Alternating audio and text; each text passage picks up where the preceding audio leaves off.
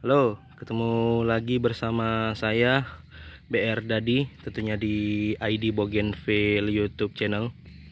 Hujan-hujan gini emang enaknya sih main tanaman yang indoor ya, kayak yang teman-teman lihat ini. Tuh beberapa koleksi mainan itu, mainan saya tuh. Yang non Bougainville.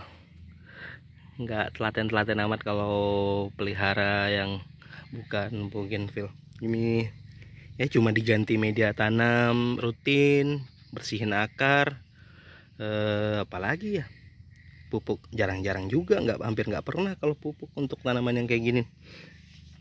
Tuh ini kemarin dikasih temen. Cakep juga ternyata. Ini apa ya black mamba atau bukan? Nggak tahu juga saya eh, ID-nya kalau radium atau aglonema yang terjadi musim di musim hujan untuk bougainville itu nih seperti penyakit kayak gini tuh.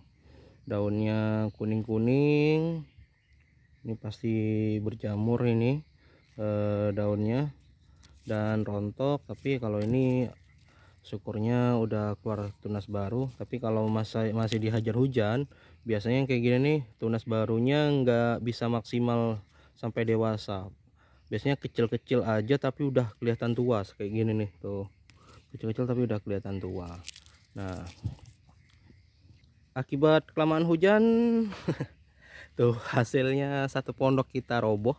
Yang ini isinya satu pondok red tile tuh ini baru ketahuan tadi pagi kayaknya keberatan gitu. Dan juga lapuk udah papanya udah lama sekali soalnya udah dua tahunan ini red foxtail sakit semua ini. Saya pisahin saya karantina dibiarin satu pondok khusus. Nah tuh. Nah yang sakit kayak gini nih eh, cara penanganannya ya nggak nggak susah-susah amat sih. Cuma cukup eh, nanti kalau udah panas dijemur beberapa hari potong-potongin mana bagian yang gosong-gosong seperti ini tuh gosong tuh. Nah yang daun-daun yang gosong-gosong juga dipotongin. Uh, kalau sehe apa ya bahasa Indonesia nya sehe? Kalau rajin di itu aja diganti media tanamnya aja. Biasanya berjamur tuh bagian dalam. Tapi kalau saya itu nggak begitu rajin untuk mengganti media tanam karena banyak juga kan jadi butuh banyak tanah juga. Jadi dijemur dulu beberapa hari setelah itu nanti baru dipupuk gitu. Jadi bakalan ya butuh waktu satu bulanan lah untuk bisa berbunga dan subur sehat kembali.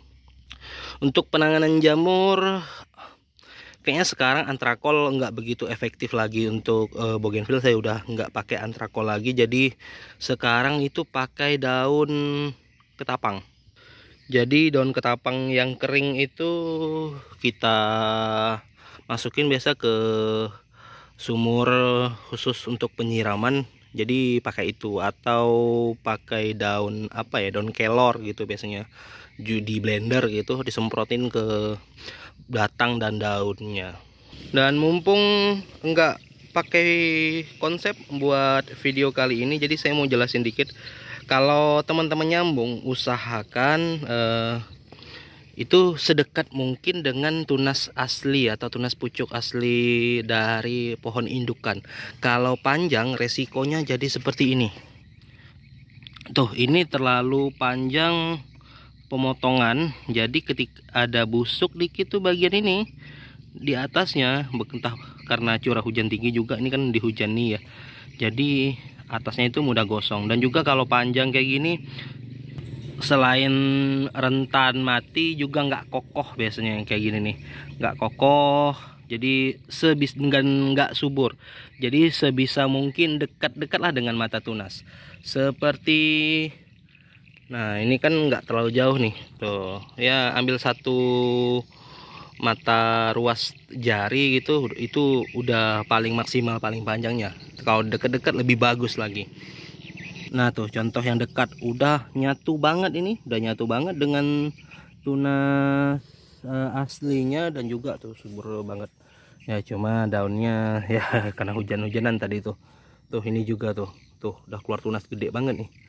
Nah tuh ada yang tahu ini apa? Nanti bakal keluar nih nggak nggak nggak akan lama lagi bakal keluar di etalase Instagram kita. Jangan lupa ya follow Instagram @id bougainville nah yang albino merah ini dari ID Daupino. Atau ada juga yang bilang Miss Manila batik. Uh, juga berhasil hidup. Ini saya tanam ini dua loh satu satu apa satu tunas mata tunasnya itu saya sambung dua dan ini yang terakhir karena uh, tunasnya baru tumbuh kemarin jadi disambung yang terakhir. Teman-temannya udah gede dia baru muncul dan ini juga berhasil. Kalau deket tapi kalau panjang kemungkinan untuk busuk juga lebih tinggi gitu. Ngomongin musim hujan lagi uh, selain kemarin uh, bougainville-nya nggak bisa maksimal keluar bunga dan warnanya juga nggak bisa maksimal uh, keluarnya. Ada lagi satu hal yaitu dahan atau rantingnya ini mudah panjang-panjang. Tuh kayak gini. Jadi kalau mendung terus otomatis bougainville-nya susah untuk rimbun panjang-panjang doang. Dan ini yang mengakibatkan susah untuk berbunga. Dan agak lama nih baru bisa tua e, rantingnya. Tuh ada yang tahu ini apa? Tuh citra mondoring. Ini belajar dari pucuk sebenarnya lebih eh, lebih mudah untuk e, mendeteksi varietas apa yang kita punya. Tuh ini begawan solo juga udah berbunga walaupun kecil ya tapi itu daunnya kurang sehat. Nah tuh daunnya nggak begitu sehat. Ini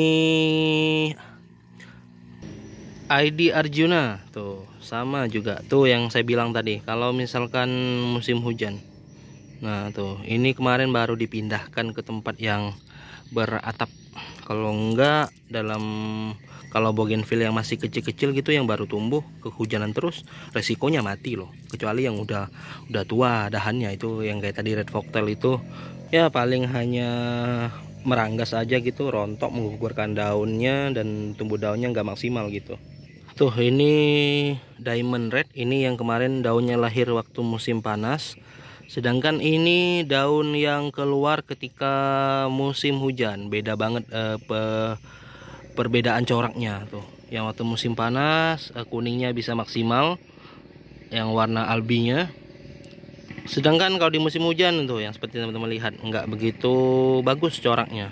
Tuh beda banget ah tuh beda banget nah tuh musim hujan juga membuat citra batik jadi polos daunnya berubah jadi citra krim tuh dikit banget yang jadi batiknya Nih penyakit citra batik tuh kayak gini mudah bermutasi menjadi citra krim daun hijau doang itu. Ini penyakit. Nah, tuh. Kok ini yang jadi, yang ini enggak. Sering begini nih kalau citra batik. Tapi yang nyenengin dari cuaca mendung terus setiap hari dan hujan terus setiap hari ini untuk uh, cherry blossom jadi warna pinknya itu nggak keluar jadi ya seakan-akan kita punya Dania White. Karena uh, udah banyak sekali yang tertipu termasuk saya sendiri beli Dania White yang keluar cherry blossom terus. Belum pernah ketemu ID Dania White yang benar-benar uh, putih sampai uh, sampai tua gitu. Kalau ini kan cherry blossom mudanya aja tuh yang putih ke hijau-hijauan tapi kalau udah tua ya nggak bisa dihindari tuh uh, warna pinknya gimana teman-teman yang beli Dania White? Apakah udah benar-benar dapat Dania White? Kabari aja kalau punya Dania White. Saya juga pengen punya. Karena itu yang belum punya untuk uh, jenis Hawaii. Satu lagi sih yang belum itu uh, Hawaii atau Aussie Violet gitu. Warna violet bukan purple ya. Jadi ungunya ungu pekat gitu. Nah itu kayaknya di Indonesia belum ada dan pengen sekali tuh kalau ada yang warna violet yang menggumpal kayak gini atau kayak sanggul kayak gini nih aduh pasti cakep banget itu dan pasti bakal uh, banyak banget peminatnya. Oke gitu aja ya kali uh, ngalur ngidul di video kali ini. Terima kasih telah menyaksikan. Sampai ketemu di eh, video-video video -video ngalor ngidul selanjutnya